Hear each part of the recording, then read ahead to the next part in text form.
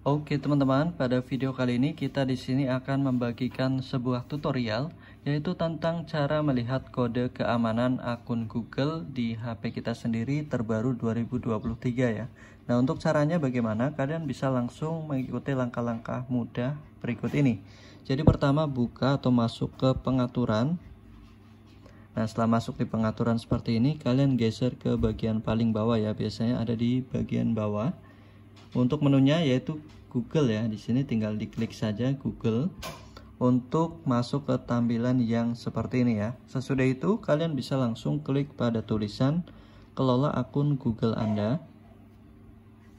Nah, di sini kita lanjut klik pada menu navigasi yaitu keamanan ya, yang ini. Tinggal masuk saja ke keamanan seperti ini.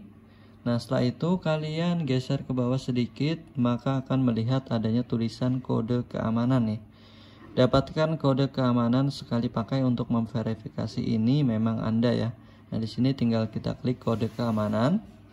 Nah selanjutnya kita akan diminta untuk gambarkan pola buka kunci ya. Kita masukkan saja. Misalnya kalian menggunakan sidik jari, masukkan sidik jari kalian. Kalau pola buka kunci kalian mau masukkan saja pola layar kunci di HP kalian. Nah, sudah itu kalian pilih untuk akun Google-nya, pastikan yang ini. Kalau berbeda, tinggal klik pada tanda panah ke bawah ini. Nah, di sini untuk kode keamanannya yaitu seperti ini ya. Jadi yang ada beberapa digit angkanya. Nah, jadi hanya seperti itu saja untuk cara melihat kode keamanan akun Google kita ya terbaru 2023. Semoga video ini membantu dan selamat mencoba tutorial ini.